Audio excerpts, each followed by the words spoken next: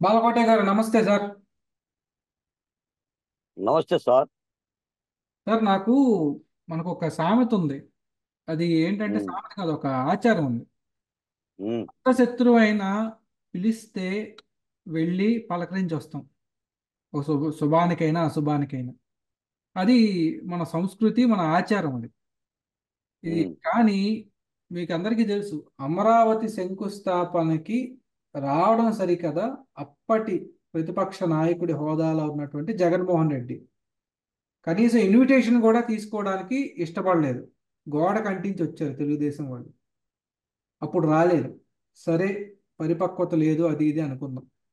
ప్రజలు ఇంత పెద్ద గుణపాఠం చెప్పిన తర్వాత కూడా నూట యాభై ఒకటి నుంచి పదకొండుకు తీసుకొచ్చిన తర్వాత కూడా ఇంకా అదే ధోరణి ఉందంటే ఏం అర్థం చేసుకోవాలి సార్? దేనికంటే ఎట్ హోమ్ అనే ఒక ఈవెంట్ జరుగుతుంది. మన గవర్నర్ గారు చేస్తారు. రాష్ట్రంలో ఉన్న రిజిస్టర్డ్ పార్టీస్ అన్నిటికి కూడా వెళ్ళింది. అసలు ఒక ఎమ్మెల్యే కూడా లేనటువంటి కమ్యూనిస్ట్ పార్టీలు కాంగ్రెస్ పార్టీలు పిసిసి అధ్యక్షుడు షర్మిల గారు కూడా వచ్చారు. వచ్చిన వాళ్ళందరూ ఒకళ్ళొకళ్ళు ఆప్యాయంగా పలకరించుకున్నారు. రాజకీయాలు పక్కన పెట్టి గవర్నర్ గారు ఇచ్చిన విందులో పాల్గొన్నారు. వైసీపీ వాళ్ళు రాలేదు అంటే ఆ పార్టీ ఇంకా లేదని అనుకోవాలా? లేకపోతే ఎవరి మీద అలుగుతున్నారు వీళ్ళు? ఏమనుకుంటున్నారు సార్? కార్తీ గారు నమస్కారం. అంటే స్వాతంత్ర దినోత్సవం శుభ సందర్భంగా లేదా రిపబ్లిక్ డే లేదా కొన్ని జాతీయ పండుగలు రాష్ట్రానికి సంబంధించిన ఒక మంచి శుభ పండుగల నేపథ్యంలో గవర్నర్ గారు తేనేటి విందు పేరు మీద అందరిని పిలుచడం అనేది ఒక ఆచారం ఎట్ హోమ్ కార్యక్రమంలో. సరే మీరు అన్నట్టుగా ఏంటంటే ఒక శుభకార్యానికి శత్రువైనా కూడా వెళ్తూ ఉంటుంటాడు. వెళ్ళాలి అది మనకు ఉన్న సాంప్రదాయం. అలాగనే రాజధాని అమరావతి నిర్మాణం అప్పుడు కూడా ఆనాటి ప్రభుత్వం చంద్రబాబు నాయుడు గారి ప్రభుత్వం ఈ రోజున ఏ ప్రభుత్వం అయితే ఉందో ఆ ప్రభుత్వం కూడా అమరావతి శంకుస్థాపన కార్యక్రమాలకి భూమి పూజ కార్యక్రమాలకి యావత్ ప్రతిపక్ష పార్టీ నాయకుడిగా జగన్మోహన్ రెడ్డి గారికి ఆ నాటి నాయకులకు కూడా వీళ్ళు సమాచారం పంపితే రాలేదు. అలాగనే ఇవాళ కూడా రాలేదు. ఇవాళ మాత్రం జగన్మోహన్ రెడ్డి గారి చెల్లెలు షర్మిల గారు వచ్చారు అని చెప్పేసి అని అంటున్నారు తేనెటి అంటే జగన్మోహన్ రెడ్డి గారు అంటే ఇందులో పెద్ద తప్పు పట్టేది ఏం లేదు సార్. ఇప్పుడు జగన్మోహన్ రెడ్డి గారు రాజకీయ కోణం నిటారుగా ఉంటుందండి. ఆయన రాడు. ఆయన రాడు. ఆయన పిలవాలనే ఆలోచన కూడా ప్రభుత్వానికి తప్పు. ఇప్పుడు నేను మాట్లాడుతాను సార్. నాకు కూడా నేను ఉదయాన్నే చూడగానే తేనేటి విందంటే ఆయా రాజకీయ పార్టీలు. మీరేదో రిజిస్టర్డ్ పార్టీలు అన్నారు. రిజిస్టర్డ్ పార్టీలను పిలవరండి. అన్ని రిజిస్టర్డ్ పార్టీలను పిలవరు. వాళ్ళ దృష్టిలో ఉన్న పార్టీలని రిజిస్టర్డ్ పార్టీలు అంటే ఆంధ్రప్రదేశ్లో నాకు తెలిసి డెబ్బై ఆరు ఉన్నాయి. పిలుస్తారా ఏంటి? వాళ్ళు అనుకున్న పార్టీ వాళ్ళనే పిలుస్తారు. ప్రభుత్వంతో సాన్నిహిత్యం ఉన్న వాళ్ళు వస్తారు. ప్రభుత్వంతో ఈ భేదం ఉన్న వాళ్ళు రాదు ఈరోజు సిపిఎం కూడా ఏం రాలేదు. సిపిఎం పార్టీ లాంటిది బహుజన సమాజ్ లాంటి పార్టీ లాంటిది ఏం రాలేదు. నేను అనేది ఏంటంటే యథారాజా తదా ప్రజలా కాదండి. ఏ ఆ విందుకి ఇందులో ఆ, సామాజిక ప్రముఖులు ఇతర రంగాలకు సంబంధించిన ప్రముఖులను కూడా ఆహ్వానించారని రాశారు. ఏ తప్ప ఏంటి సార్? ఏమన్నా అమరావతి ఉద్యమకారులు ఏమన్నా ఇద్దరు ముగ్గురిని పిలిపిస్తే ఆ తేనేటి విందుకి మీకు ఓ పాత కథ ఒకటి ఉంటుంది. జనం ప్రజలుగా అనుకుంటారు. అందరూ ఒకే చెట్టు కొమ్మలు అందరూ ఒకే తానుగుడ్డలో అని అంటుంటారు రాజకీయ పార్టీ ఇది అది కాదా? ఇది అది కాదండి. మీరు ఆ పార్టీ మారగానే షర్మిల గారు మీకు ఇష్టమయ్యారు. మీకు దగ్గర అయ్యారు పార్టీ మారకపోతేనే దూరం అవుతారు. అని షర్మిల నేను తప్పు పట్టాల. తేనేటువంటి కార్యక్రమాలు వెళ్ళటం తప్పు పట్టాలా. వీళ్ళు పిలవటం తప్పు పట్టాలి. గౌరవించాల్సిన శక్తులను ఇంకా గౌరవించకపోతే యథా రాజా తదా ప్రజనే కదా ఏముంది చెప్పండి?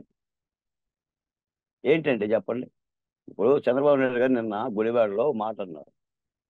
ఆంధ్రప్రదేశ్కి ఐదు సంవత్సరాల తర్వాత స్వాతంత్రం వచ్చింది అని. నిజమే. ఆంధ్రప్రదేశ్కి ఐదు సంవత్సరాల తర్వాత జగన్మోహన్ రెడ్డి గారి పరిపాలన నుంచి లేదా వైసీపీ పరిపాలన నుంచి నరకయాత్ర నుంచి అరాచకాల నుంచి దౌర్జన్యాల నుంచి అభివృద్ధి లేనితనం నుంచి స్వాతంత్రం వచ్చింది. శ్రీశ్రీ గారు కూడా అన్నారు. స్వాతంత్రం వచ్చినని సభలో చేసి సంబరపడితే సంబరపడితే ఫలితం ఏముంటుంది అని సాధించిన దానికి సంతృప్తిని చెంది అదే విజయం అనుకుంటే పొరపాటు అయ్యి అంటుంది. ఏంటి? ఆంధ్రప్రదేశ్లో స్వాతంత్రం వచ్చింది? ఎవరికి వచ్చింది స్వాతంత్రం? తెలుగుదేశం పార్టీకి వచ్చిందా? జనసేన పార్టీకి వచ్చిందా? భారతీయ జనతా పార్టీకి వచ్చిందా?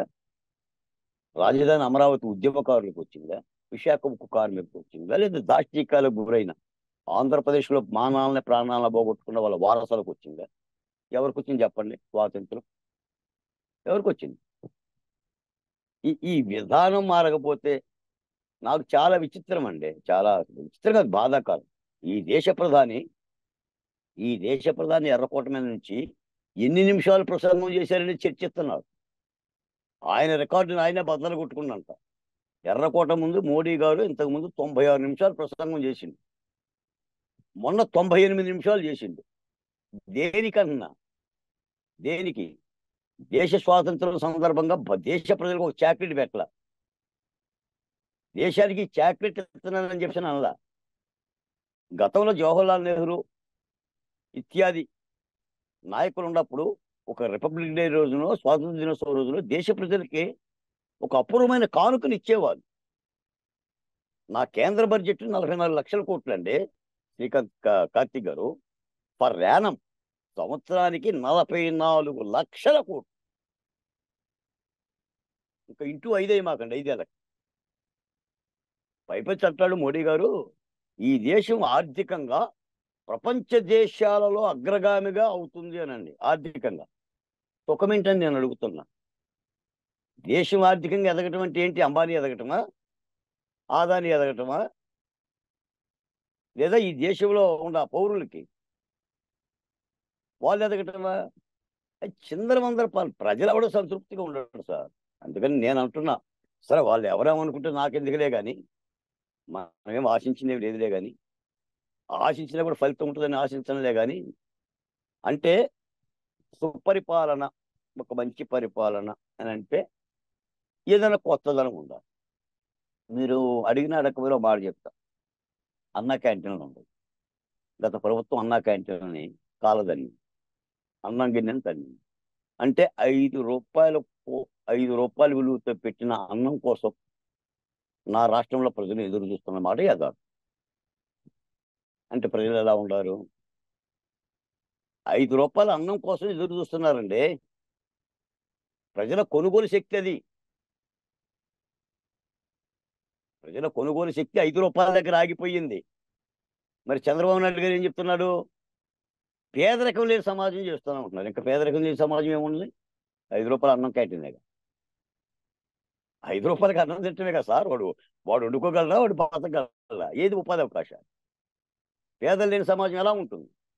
ఈ మాట ఎంతకాలం నుంచి వింటున్నాం? ఎంతమంది నాయకుల నుంచి వింటున్నాం? దేశంలో పేదరికం లేని సమాజం చేస్తామని చెప్పండి నాకు. అంటే కార్తీక్ గారు మనమేదో ఓహం ఓహం భాయ్ ఓహం ఓహం భాయ్ అని ప్రభుత్వాలు మోయటం మీ బాధ్యత నా బాధ్యత కాదు. కడుపు తరుక్కుపోతుంది. బెంగాల్లో ఏం జరిగింది? ట్రైనీ నర్సు మీద జననాంగంలో తొం నూట యాభై గ్రాముల వీర్యం పోస్ట్ మార్టం రిపోర్టు దొరికింది. దేశం ఏం చేస్తుంది? ఒక ఆంధ్రప్రదేశ్లోనే కాదు దేశవ్యాప్తంగా అత్యాచారాలు జరుగుతున్నాయి. మన మోడీ గారిని ప్రశ్నించట్లా. ఏ ఎవ్వడు సాహసం చేయట్లా మోడీ గారిని ప్రశ్నించడానికి? వాటి మీద చర్యలేమి అని మనం మనం మన రాష్ట్రంలోనే అలసిపోయాం జగన్మోహన్ రెడ్డి గారి దెబ్బకి. అసలు దేశం గురించి మొన్న ఐదేళ్ళు కూడా దేశం వైపు చూసే పరిస్థితులు లేవు మనం. బీహార్లో ఏం జరుగుతుంది ఉత్తరప్రదేశ్లో ఏం జరుగుతుంది అసలు దేశంలో ఏం జరుగుతుంది మణిపూర్లో ఏం జరుగుతుంది ఎలా మహిళలు వేధించారు మాట్లాడలేకపోయాం మేము మాట్లాడాలని ఉన్నా. ఎందుకంటే జగన్మోహన్ రెడ్డి గారి దెబ్బకే తాటలు తెగిపోయింది ఈ రోజున రెండు వేల ఇరవై నాలుగులో ఎంతకాలం అయింది డెబ్బై ఎనిమిది సంవత్సరాల స్వాతంత్ర ఫలాలనే. డెబ్బై ఎనిమిది సంవత్సరాల తర్వాత కూడా ఇంకా బ్రిటిష్ వాడు వారసులే ఉన్నారు దేశంలో. జగన్మోహన్ రెడ్డి గారు బ్రిటిషుడు వారసుడు కాదా? నియంత పరిపాలన కాదా? విభజించు పాలించు పరిపాలన కాదా? ఎక్కడుందండి స్వాతంత్రం? అంటే నేనేది ప్రభుత్వం ఏదో అమరావతి రైతుల్లో లేదా ఉద్యమకారులు లేదా బహుజన కులాల్లో ఇలాంటి యొక్క వాళ్ళని కూడా చేనేటి విందు పిలవండి. మేమేదో తినొస్తామని చెప్పి నేను అంటలేదు మీరు మీకు అదేనండి. నువ్వు నేతి బీరలో నెయ్యి ఉంటుంది నెయ్యి ఉంటుంది నెయ్యి ఉంటుంది అని చెప్పేసి అని ఆశపత్రం కూడా అదొక వృధా ప్రయాస అవుతుంది. జగన్మోహన్ రెడ్డి గారు తరహా పరిపాలన ఒక రాచకం కాకపోతే ఒక సంతోషకరమైన విషయం ఏంటంటే కనీసం జగన్మోహన్ రెడ్డి గారి ప్రభుత్వం దిగిపోవటం మూలాన ఆంధ్ర రాష్ట్రానికి ఊపిరాడుతుందని ఒక సంతోషం మిగిలింది. అమరావతి నిలబడిపోతుంది. ఉంది అమరావతి ఎదుగుతుందా ఎంత ఎదుగుతుందా అనే తర్వాత సంగతి. అది ఒక రాజధాని అంటూ ఉంది. ఆ రాజధానికి భూములు ఇచ్చిన రైతులు ఆత్మహత్యలు చేసుకోకుండా బతికిపోయారు. బతికిపోయారండి. నిజంగా జగన్మోహన్ రెడ్డి గారు మళ్ళీ అధికారంలోకి వస్తే ఈ పార్టీకి నాకు తెలిసి ఒక పాతిక ముప్పై ఆత్మహత్యలు జరిగాయి. నాలాంటి ఆంధ్రప్రదేశ్లో ఉండేవాడు కాదు. పారిపోయే వాళ్ళం. ఏదండి ఆత్మగౌరవం? ఏదండి గౌరవం? ఏది గౌరవం చెప్పండి? Ten is to thirty is to sixty is to ఎవడు ప్రాణాలు పెడితే ప్రభుత్వాలు మారుతాయో కూడా చైతన్యవంతంగా తెలుసుకోలేకపోతే ఇప్పటికీ కూడా ఏవో ఆలికి అన్నం పెట్టి ఊరికి అన్నం పెట్టానండి ఎవడు కూడా. ఆలికి అన్నం పెట్టి ఊరంతా అన్నం పెట్టాను ఊరంతా అన్నం పెట్టే గుణం ఉంటే మంచిది. కానీ నేనేమో దీన్ని వాళ్ళు అలాగనే పిలుస్తారు. అమరావతికి రాని వాళ్ళనే పిలుస్తారు. ఏంటి? అయినా వెళ్తే వెళ్ళారండి అది సాంప్రదాయం. మీకు ఒక మాట చెప్తాను. ఇది ఇదే గవర్నర్ గారి దగ్గర నేను మూడు సార్లు కలిసి సుధాకర్ పుట్టోలు అబ్దుల్ సలాం పుట్టోలు చూపించి అయ్యా ఇటు చంపారయ్యా ఇంకో అయ్యా విసర్జన అని వీడియోలు చూపించాను సార్. ఆ ప్రభుత్వంలో గవర్నర్ గారు ఏమి ఉలుకూలేదు పలుకూలేదు.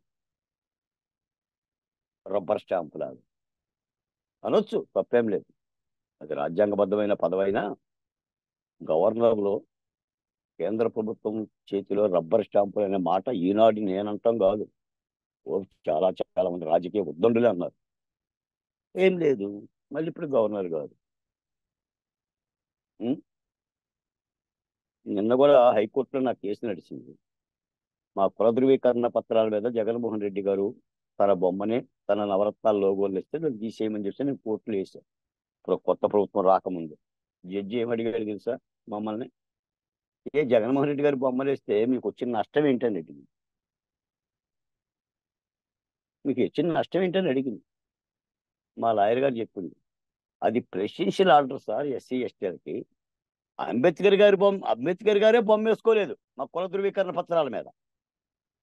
అందుకని ఏ ప్రభుత్వం కూడా అలాంటి బొమ్మలు వెయ్యొద్దని చెప్పిన ఆర్డర్ ఇవ్వండి అంటే వాయిదాల మీద వాయిదాలు ఇచ్చి కొత్త గవర్నమెంట్ వచ్చింది. ఇప్పుడు నిన్న కూడా జరిగింది. నిన్న ప్రభుత్వం ఇంకా కూడా కుల ధృవీకరణ పత్రాల మీద ఆర్డర్స్ ఏమి ఇవ్వాల. మేము వేయట్లేదని జీవో ఏమి ఇవ్వాల.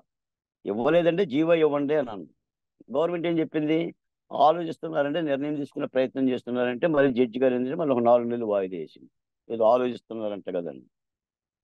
అది కాన్స్టిట్యూషనల్ రైట్ అండి. ఆర్డర్ చేయాలి. అది చంద్రబాబు నాయుడు గారి ప్రభుత్వం కాదు. ఎలాంటి ప్రభుత్వం వచ్చినా కూడా ఈ ప్రెసిడెన్షియల్ ఆర్డర్ని రాజ్యాంగపరమైన నిబంధన పాటించాలి. ఈ రోజున ఫిఫ్టీన్ శాతం రిజర్వేషన్ ఉంది ఎస్ఏలకి ఎస్టీలకి ఏడు పాయింట్ ఐదు శాతం రిజర్వేషన్ ఉంది. ఏంటిది ప్రెసిడెన్షియల్ ఆర్డర్ అది. తీసేయడానికి ఏ ప్రభుత్వానికి అర్హత లేదు. హక్కు లేదు. రాజ్యాంగంలో అలా పొందుపరిచారు. లాకేసిండు అంబేద్కర్ గారు లేకపోతే ఈ పార్టీకి నూట యాభై సార్లు తీసేవాళ్ళు ఒక్కొక్కటి అధికారంలోకి రావటం. ఇంకో కాపులకు కాపులకు ఐదు శాతం రిజర్వేషన్. ముస్లింలు నాలుగు శాతం రిజర్వేషన్. బీసీలకు ముప్పై మూడు శాతం రిజర్వేషన్. ఎస్సీలకు నాలుగు శాతం అంటే రాజకీయ పబ్బం కోసం మహిళలకి ఫిఫ్టీ యాభై శాతం రిజర్వేషన్. జగన్మోహన్ రెడ్డి గారైనా మోడీ గారైనా మరి ఏ రాజకీయం ఎందుకు అంటున్నారు వీళ్ళంతా? ప్రేమతోనా? ఇక దాంతో ఏమవుతుంటే కులాల మధ్య తగవులాటలు ఇబ్బందులు. అయ్యో నా రిజర్వేషన్ పోతుందేమో కాపులు తెచ్చేసి బీసీలలో పోతే బీసీలు మొత్తం చదువుమటి పోయారు రెండు వేల పంతొమ్మిది చంద్రబాబు నాయుడుకి బాయ్ బాయ్ బాయ్ బాయ్ చెప్పారు. ఇప్పుడు ఏది కాపు రిజర్వేషన్? అంటారా? మరి ఎస్ఏల వర్గీకరణ. పుడతాయి ఉద్యమాలు పడతాయి న్యాయం ఉంటేనే ఉద్యమాలు పడతాయి మరి రాజకీయం కోసం ఉద్యమాలు పడతాయి రాజకీయ పార్టీలు అందరితో నిర్ణయాలు అవుతాయి. నాకు తెలిసిందంటే వెరసి మీరు మీరు ఎట్ హోమ్ అని అడిగినా కూడా నేను ఆంధ్రప్రదేశ్ హోమ్ గురించి మాట్లాడుతున్నాను. ఆంధ్రప్రదేశ్ హోమ్ గురించి ప్రజలు అనుకుంటున్న భావాల గురించి మాట్లాడుతున్నాను. ప్రభుత్వం నడుస్తుంది. పాలనలో పాలనలో సరిపోని ఉప్పుతో ఉప్పు లేకుండా ప్రభుత్వ పరిపాలన నడుస్తుంది. కానీ నడవనివ్వండి. ఎందుకంటే మేము కూడా అందులో భాగమే కదా. ఆ ప్రభుత్వం రావాలని కోరుకున్న వాళ్ళమే కదా. ఒక ఒక ఒక ఒక అరాచకవాది పోవాలి ఈ ప్రభుత్వం రావాలని కదా కోరుకుంటున్నాం కాబట్టి ఈ పరిపాలనలో మాకు కూడా వాటా ఉండట్లేదు. వాళ్ళు తప్పు చేస్తే తప్పులో వాటా ఉంటుంది ఒప్పు చేస్తే ఒప్పులో వాటా ఉంటుంది. రేపైనా కొత్త పరిణామాలు జరిగితే ఆ కొత్త పరిణామాల్లో కూడా వాటా ఉంటుంది. కాబట్టి చూద్దాం మీరు అన్నట్టుగా జగన్మోహన్ రెడ్డి గారు అయితే ఇలాంటి కార్యక్రమాలకు ఆయన రాడండి. రాడు. ఆయ- ఆయన కోణం ఇప్పుడు కూడా తిన్నగానే ఉంటుంది. ఆయన రాజకీయ రాజకీయ పార్టీలని ప్రత్యర్థి పార్టీలుగా భావించారు సార్ జగన్మోహన్ రెడ్డి గారు శత్రు పార్టీలుగానే భావిస్తాడు. ఆ పరిపాలన మనం చూసాం. పరిపాలన చూసాం ఇది పిలిచారో లేదో నాకు తెలియదు కానీ పిలవడం కూడా దండగా. చూద్దాం సార్ మీరు చెప్పినట్టు ఉప్పు లేని కూరలానే ఉందని కాల్ ప్రస్తుతానికి పరిపాలన. గతంలో ప్రజలు కార్చిన కన్నీళ్ళలో ఉప్పు అయినా సరే కాస్త వచ్చి అందులో చేవ రావాలని కోరుకుంటున్నాను. ధన్యవాదాలు.